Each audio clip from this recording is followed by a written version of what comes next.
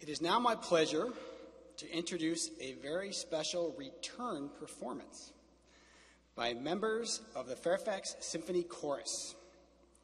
They will be performing Fairfax County is My Home, a piece commissioned by the Fairfax County Symphony in honor of Sharon Bulova and Fairfax County's 275th anniversary. The song was composed by Mark Camphouse with lyrics by Elizabeth Curtis. Tonight's performance is conducted for you by music director Christopher Zimmerman. So if you now turn your attention to the balcony.